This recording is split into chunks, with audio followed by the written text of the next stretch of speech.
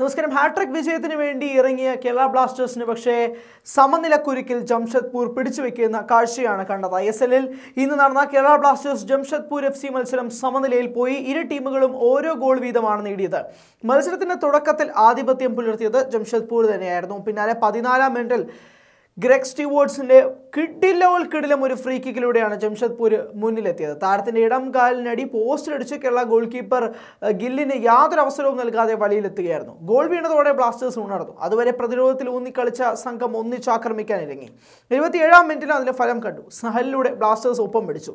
Alvaro വാസ്കസിന്റെ ശ്രമമാണ് ഗോളുകളിന് വഴിയൊരുക്കിയത്. വാസ്കസിന്റെ ഷോട്ട് ടി പി രഹനേഷിന്റെ ആ, തട്ടിയകറ്റി എന്നാൽ പന്ത് ലഭിച്ച സഹലിന്റെ ഷോട്ട് പൂർണമായും തടയാൻ രഹനേഷിനായില്ല. താരത്തിന്റെ ദേഹത്തെ തട്ടി പന്ത് വലയിലേക്ക് എത്തുകയായിരുന്നു. ഐ എസ് എല്ലിലെ മോശം റഫറിങ്ങിന് ഞായറാഴ്ചത്തെ മത്സരത്തിലും കുറവൊന്നും ഉണ്ടായില്ല.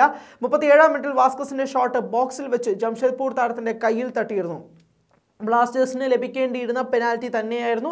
പക്ഷേ റെഫറി അത് കോർണറാണ് കൊടുത്തത്. പിന്നാലെ അമ്പതാം മിനിറ്റിൽ വാസ്കസിലൂടെ ബ്ലാസ്റ്റേഴ്സ് ലീഡ് എടുക്കേണ്ടതായിരുന്നു.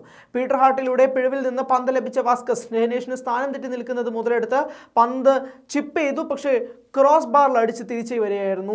എൺപത്തിനാലാം മിനിറ്റിൽ ജംഷഡ്പൂർ താരം ഇഷാൻ പണ്ഡിതയുടെ ഷോട്ട് രക്ഷപ്പെടുത്തി ഗില്ല് ബ്ലാസ്റ്റേഴ്സിനെ സമനില തെറ്റാതെ കാക്കുകയും ചെയ്തു. സമനിലയുടെ ബ്ലാസ്റ്റേഴ്സ് എട്ട് മത്സരങ്ങളിൽ നിന്ന് പതിമൂന്ന് പോയിന്റുമായി മൂന്നാം സ്ഥാനം നിലനിർത്തിയിരിക്കുകയാണ്. എന്നാൽ പോലും ജയിക്കേണ്ടതായിരുന്നു എന്ന് തോന്നിപ്പിച്ച കളി പിന്നീട് വഴുതി പോയി രണ്ട് ടീമുകളും ഗംഭീരമായ മത്സരം തന്നെയാണ് കാഴ്ചവെച്ചത് എന്നുള്ളതാണ്. സുനിൽ ഛേത്രിക്ക് ശേഷം സഹലിന് റെക്കോർഡുമുണ്ട്.